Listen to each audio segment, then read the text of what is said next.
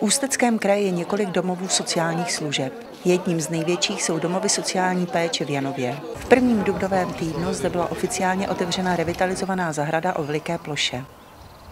Já bych vás rád eh, srdečně přivítal na slavnostním otevření naší kompletně zrekonstruované a zrevitalizované zahrady, která je v jednom ze dvou areálů domovů sociálních služeb Litvínov. Byl tady starý sad, eh, nákladem téměř 4 milionů korun z operačního programu Životní prostředí a s povinnou spolúčastí, který, který zajistil náš zřizovatel Ústecký kraj, tak vlastně se povedlo v loňském roce kompletně uh, zrekonstruovat tady tu krásnou zahradu. Po úvodním přivítání všech hostů panem ředitelem a několika vřelých slov z úst zástupce hejtmana doktora Kliky došlo k přestřižení pásky. Samozřejmě popřát klientům, aby se jim zahrada líbila, aby ji mohli perfektně využívat. Děkuji. Tak my teď se pokusíme přestřihnout tu pásku. Jo. Krásně nový Tady máš čau. Tady máš zajíce toho, aby mu nebylo smutno, tak tady je druhý. Petrohrad, Jenoval.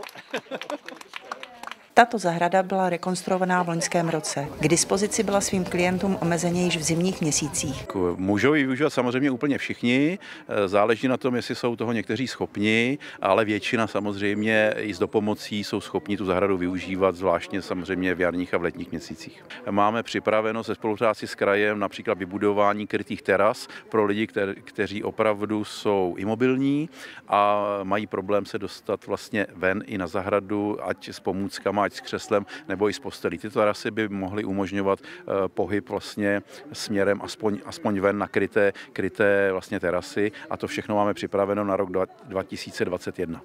Eh, Domovy sociální služeb Litvínov mají 300 klientů, z nich 170 bydlí tady za náma, co vidíte.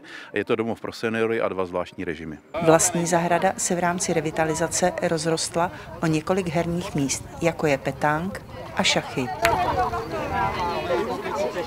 Jakým způsobem se vlastně stará krajský úřad o e, domovy sociálních služeb v rámci celého kraje?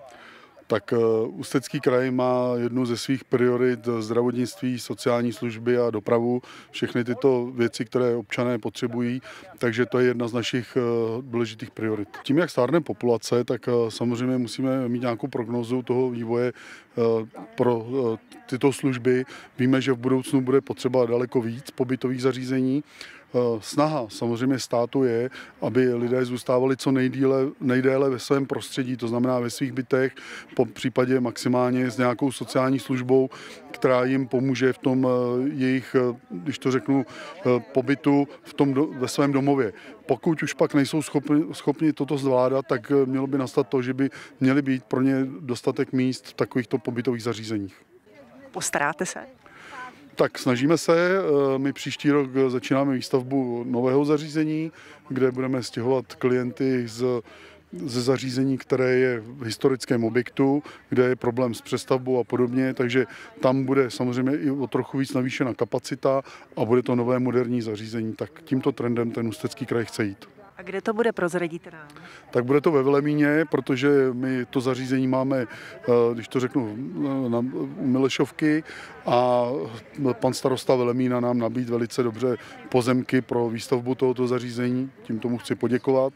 A e, takže na, my to budeme, budeme se snažit, aby jsme to udrželi v co nejbližším místě, protože i, i ti lidé, kteří tam pracují, tak tam bydlí. Protože domovy sociálních služeb Janov jsou jedním z největších zaměstnavatelů v rámci Litvínova, své zážitky nám sdělila i paní starostka. Je to tady úžasný, krásný a gratuluju všem, kteří se na tom spolu podíleli, protože klienti budou mít nádherné zázemí a určitě se jim to také líbí a to je to důležité. Myslím si, že teď, tak jak je to nastaveno, tak ten standard je velmi vysoký a opravdu je to krásné. V tomto období se zahrada již probouzí do života a kvete. Líbí se vám stromy? Jo, už to pučí. Součástí této oslavy bylo malé občerstvení z rukou klientů. A to nejen v rámci obsluhy, ale i přípravy pokrmů, které jsou zde vyráběny formou terapie klientů a jejich dílem.